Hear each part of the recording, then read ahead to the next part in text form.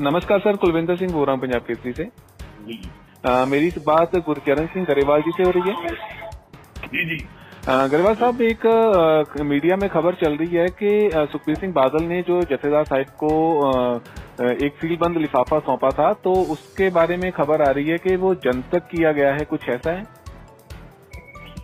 देखिए ऐसा है कि जब हमारे जो बागी अकाली हैं उन्होंने एक दोष पत्र हैदर साहब को सौंपा था।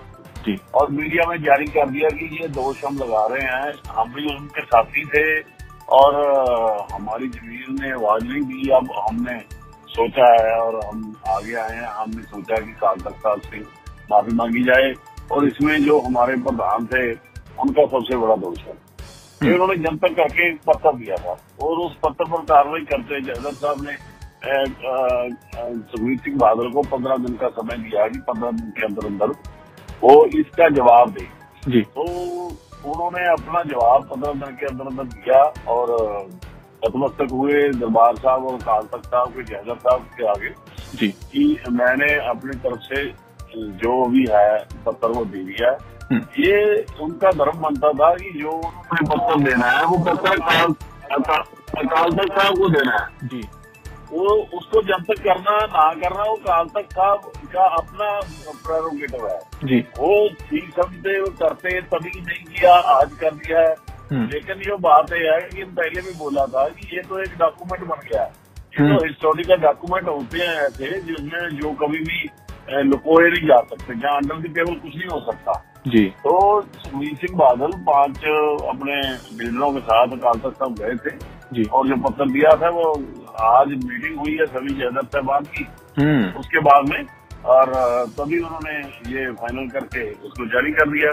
जी। और जो जारी किया है वो उसमें स्पष्ट है जो हमारे लोग चाहे वो बागी का लिया है चाहे कोई और है उनके मन के वो पूरे संशय हैं जो वो आज मेरे हिसाब से वो क्लियर हो, हो गए होंगे। क्योंकि सुखबीर सिंह बादल जी ने एक तो अपने पिताजी जब वो मुख्यमंत्री थे जब घटनाएँ हुई तब वो उनकी एक चिट्ठी साथ में लगाई है। सिर्फ़ वो जानकारी देने के लिए जी। कि हम तो पहले भी तब से ही हमारे मन में एक बहुत बड़ा बोझ है और इस जो जो हालात बने इसका हमारे मन में दर्द है। लेकिन उसके बाद में उन्होंने क्लियर कर कह दिया अपने पत्र में कि जी जो भी मेरे खिलाफ शिकायत आई है हम्म, इस बात को चाहे सरकार से हुआ हो या पार्टी से हुआ हो मैं पार्टी का मुखिया होने के नाते हर बात को अपनी झोली में डलवाता हूँ और मैं इस इस बात के लिए अपने आप को दोषी मानता हूँ। और हम्म, किसी भी उन्होंने खास तौर पर लिखा है कि यहाँ पर जो तखत है हम किसी भी तरह की दलील या अपील नहीं करना दलील नहीं देना चाहते। हम्म, इसमें कोई जो कुछ आपके आप, आप, आपके पास शिकायत आई है हर तरीके से एक नमाने शेख होने के नाते हम्म। हम समर्पण है और अकाल तख्त साहब को समर्पण है अकाल तख्त साहब जो भी इसमें फैसला करेगा उन्होंने बोला कि मैं और मेरे साथी उसको सिर झुका के सम्मान करेंगे। ठीक है तो गरेवाल साहब जो इसकी कॉपी है वो आपने नशर कर दी है सभी को डिस्ट्रीब्यूट की है मीडिया में? हाँ अकाल तख्त साहब से डिस्ट्रीब्यूट हो चुकी है वो। आपके पास नहीं पहुँची है। नहीं, ठीक है। तो अच्छा एक बात और है, जैसे कि उन्होंने ऐसा कबूलनामा दिया अकाल तख्त साहिब को तो आगे जो अगली एक तरफ़ तो अकाल तख्त साहिब ने सवाल किया तो दूसरी तरफ़ जो कानूनी प्रक्रिया भी एक चल रही है अदालत में तो आपको लगता है कि आने दिनों, आने वाले दिनों में इस बात को लेकर भी सवाल खड़े होंगे? देखो, कानून की अदालत का मामला कुछ और होता है और अकाल तख्त साहब का मामला कुछ अलग होता है।